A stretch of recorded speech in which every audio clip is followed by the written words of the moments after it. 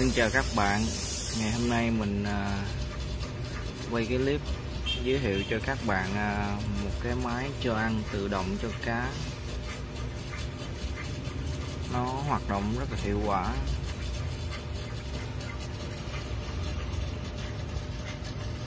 Đây là một cái máy cho ăn tự động cho cá.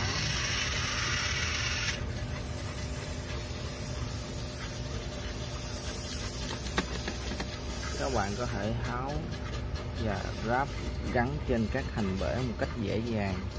Đây là một cái máy đây. Ở trên đây nó có timer thời gian là 24 tiếng. 24 tiếng. Các bạn để cái ờ, vạch trắng này không? Ở trên máy nó sẽ cho mình 6 cái vạch trắng như vậy thì sáu vạch trắng này mình có thể dời trên 24 giờ này.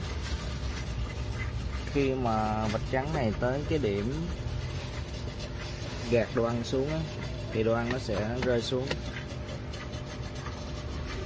Đôi khi các bạn muốn cho ăn bằng tay các bạn có thể núm cái nút này và các bạn dằn đó đồ ăn có thể rơi xuống.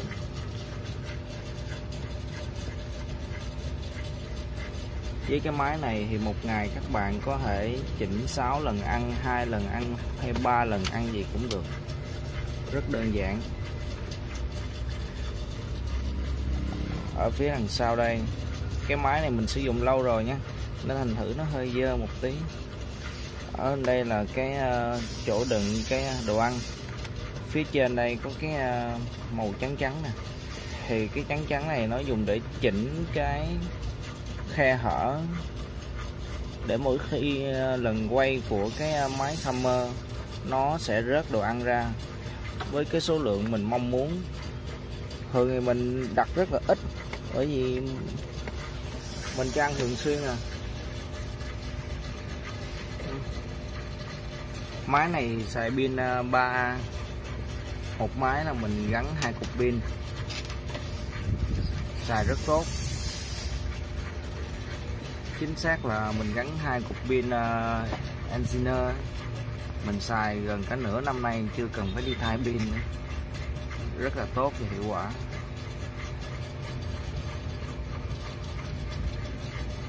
Không các bạn thấy không?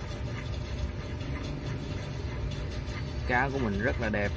Đơn giản là hầu như là nó được ăn uống đầy đủ hàng ngày luôn. Và có giờ giấc hết.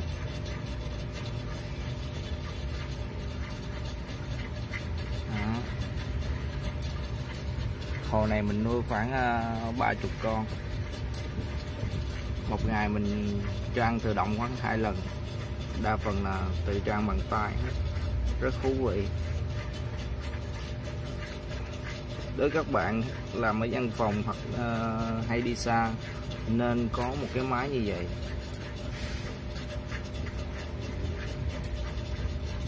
Rất tốt. Bởi vì các bạn có thể đảm bảo cho cá của mình luôn có đồ ăn, không có lo nó bị đói. Thậm chí mà sau này huấn luyện cá, các bạn chỉ cần các bạn gõ gõ vào hành hồ, bạn xoay cho đồ ăn nó rớt xuống.